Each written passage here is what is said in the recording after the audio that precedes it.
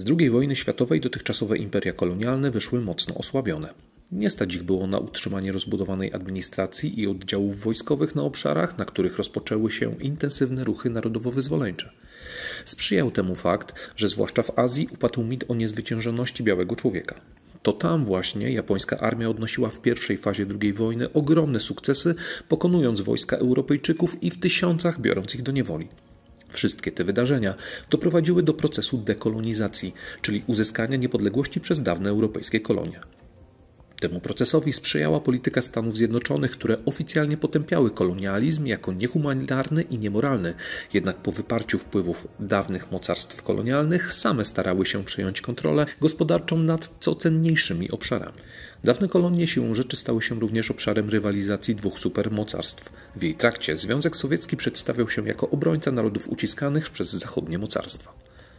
Najcenniejszą brytyjską kolonią były Indie. Tam już w latach dwudziestych trwał proces powstawania ruchów, które najpierw żądały większego uczestnictwa mieszkańców Indii w procesie zarządzania kolonią, a w końcu pełnej niepodległości. Najpopularniejszą wśród Hindusów organizacją stał się Indyjski Kongres Narodowy, którego nieformalnym przywódcą był Mahatma Gandhi.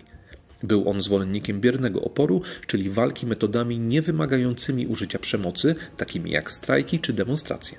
W tym samym czasie powstała również Liga Muzułmańska, organizacja konkurencyjna względem kongresu, której główną bazą społeczną byli wyznawcy islamu. Z biegiem czasu rywalizacja między tymi dwoma ruchami zaczynała być coraz bardziej intensywna i krwawa. I w obliczu niemożności utrzymania kontroli nad tymi obszarami, w 1947 roku Brytyjczycy podjęli decyzję o opuszczeniu Indii i podzieleniu ich na dwa niepodległe państwa, zdominowane przez Hindusów Indie oraz muzułmański Pakistan. Fakt ten doprowadził do masowych migracji ludności, którym towarzyszyły krwawe czystki na tle religijnym.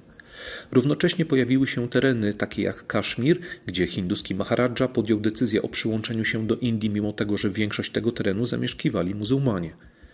Konflikt o ten region doprowadził do wybuchu czterech wojen między tymi krajami, które miały miejsce w XX wieku.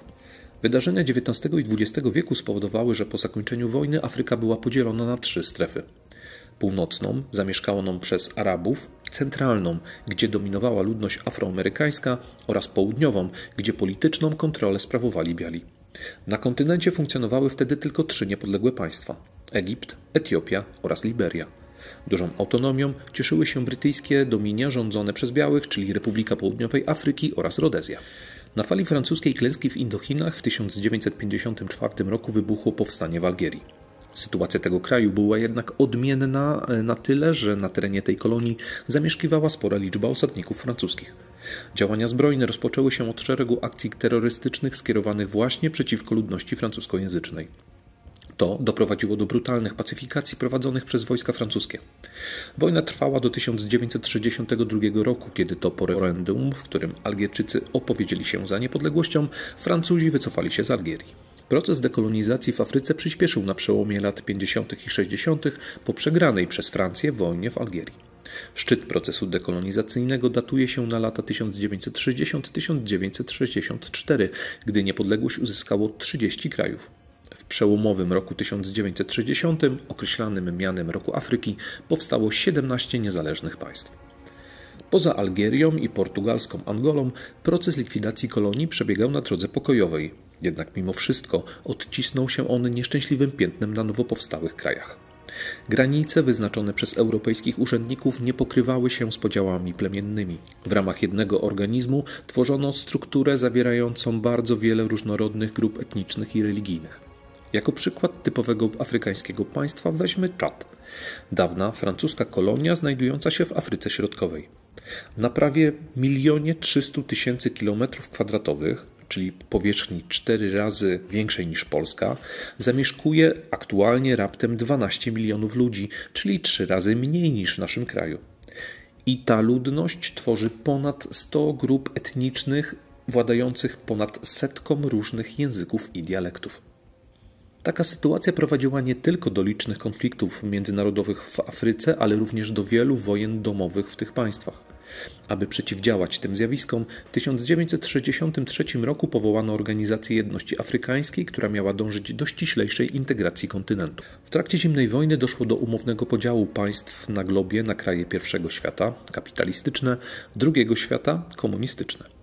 Istniały również państwa, które nie chciały opowiadać się po żadnej ze stron tego konfliktu i dla nich po konferencji w Bandungu, która odbyła się w 1955 roku, a na której debatowały kraje azjatyckie i afrykańskie, upowszechniło się pojęcie państw trzeciego świata.